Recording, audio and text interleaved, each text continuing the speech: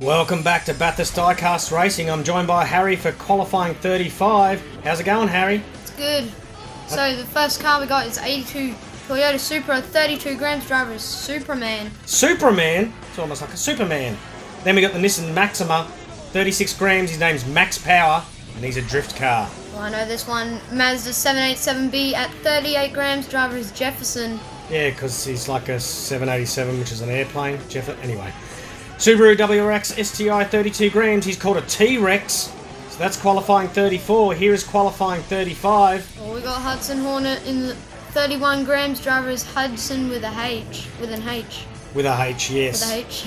Yeah, then we got the uh, Ford shoebox, 38 grams. His name's Stinky Feet because he's got a shoebox. Yeah, It's disgusting. Then A crate, 44 grams. Driver is Socrates. it's Socrates, but we'll call him Socrates. And Hudson Hornet at 30 grams. He's called Hot and Hornet. These things are gorgeous.